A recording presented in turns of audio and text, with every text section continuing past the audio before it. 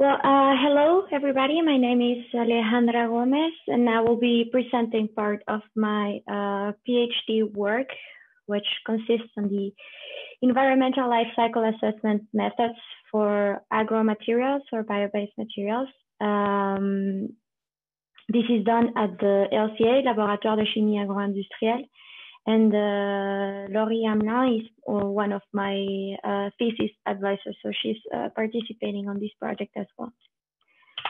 So the the um, the work is based on two case studies. One which is uh, under the name BOPA, and it's a, a small uh, company developing a sandwich panel for an application in the aeronautic sector by using flax fiber as reinforcing reinforcement material uh, in a composite instead of glass fiber. And the second case study, it's under the name uh, Luma, and uh, it consists, uh, it's a project developed by designers uh, that aim to valorize the piece of sunflower stems to be used as panels for acoustic absorption materials. So for the first case, uh, as I was saying, the aim is to produce a composite material, which is a material that is made up from a fiber reinforcement and a polymeric resin. Uh, so this biocomposite material is made from flax fiber and an epoxy resin, and the idea is to compare its environmental performance to a classic composite material, which is made of glass fiber as reinforcement and using an epoxy resin as a polymeric uh, matrix. So uh, the company produced a biocomposite sandwich panel uh, in aim of applying it in the aeronautics sector in order to reduce fuel consumption. This uh, was based on the on the concept that natural fibers have a lower density than glass fiber and also they store carbon. So this contributes to the delay of uh, greenhouse gas emissions. So the main findings of this project is that indeed weight is an utmost critical parameter. Uh, actually, the use phase of the composite material was the phase that was attributed in all uh, environmental impact categories assessed over 99% of the impact. And uh, in this case, the, the biocomposite material was less advantageous than the classical one, than the petrochemical one. This uh, given the development stage of the prototype and also the sector's strict regulations, uh, mainly for fireproofing. And this represents the main constraint for the weight reduction in the biocomposite. Uh, this considering a cradle to grave approach.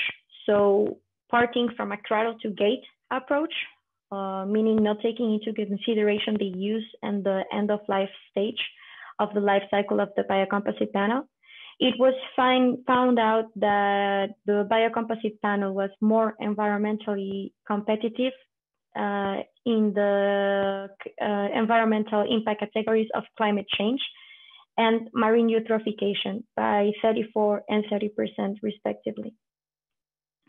So uh, it was also addressed the fact that through the use of these bio-based panels, uh, to be used as interior fittings in airplanes, meaning uh, trays or baggage compartment, for example. Uh, by using them uh, for the in the next 20 years, the emission of over 75 megatons of carbon dioxide could be delayed. This given the carbon that is stored uh, well as part of the natural fibers. So future work concerning this project would be to improve the fiber resin ratio and the geometry of the prototype in order to be able to attain the mass uh, quantities of the, the mass value of the petrochemical um, counterpart. So now for the Luma project, This uh, consists, as I was saying, as the valorization of the pith found inside the stalk of the of the of sunflowers. So sunflowers are grown um, mainly or only for the obtention of sunflower seeds to be used um, for the obtention of oil, sunflower oil. So stalks and other components of the plant are left at the field. It was found that the pith from inside the stalk has insulation uh, properties, uh, specifically for acoustic absor uh, sound absorption properties.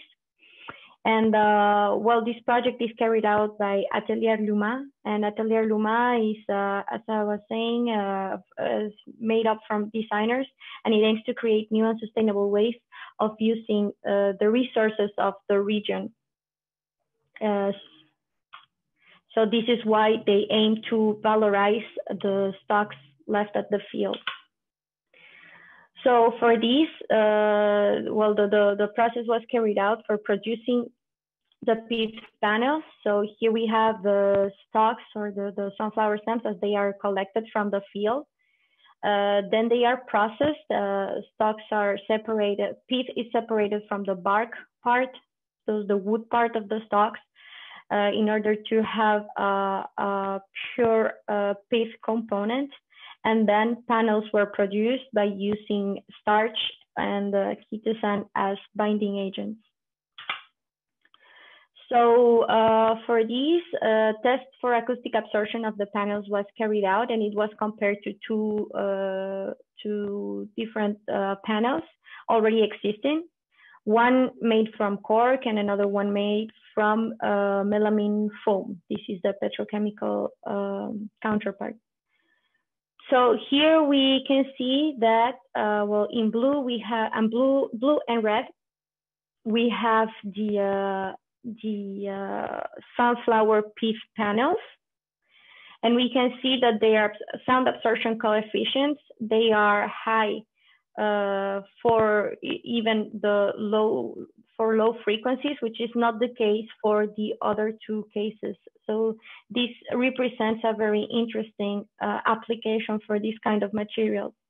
Moreover, we can see that even uh, the as the melamine foam will has a higher uh, a, a, final um, absorption coefficient, they uh, the the sunflower, sunflower pith options remain quite competitive uh, when it comes to their capacity for sound.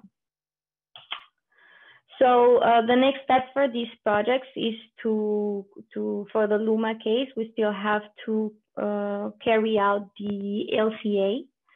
But for both cases, we are following a consequential approach, meaning that we are uh, applying system expansion where all co-products are, are included in the system boundaries in order to include the fate of these co-products in the environmental impact of the final product.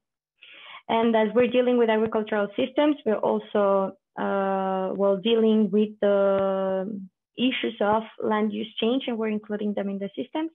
And we're also considering the carbon storage potential of these agricultural uh, products.